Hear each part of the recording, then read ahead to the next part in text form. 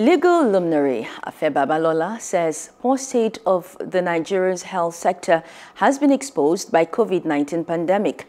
The legal icon in his address at the eighth convocation ceremonies of the Afe Babalola University in Ado-Ekiti said it's shameful for Nigeria to be receiving vaccine from India despite the brains in the health sector. He urges that the number of quality medical personnel produced by the country has not translated to good global rating.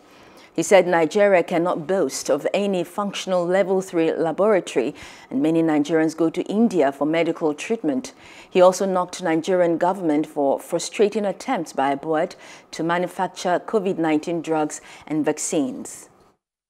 I say with all boldness that it's a shame that while India has navigated itself from the club of underdeveloped countries into the prestigious club of developed countries, Nigeria is still battling daily with the Asian cattle open grazing system, with the harder with AK-47 to challenge anybody who prevents them from destroying their farms.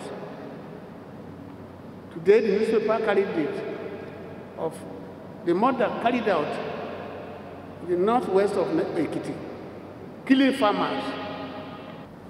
One of the problems affecting the country today is the role of the role and attitude of government agencies and the lack of cooperation with private entrepreneurs.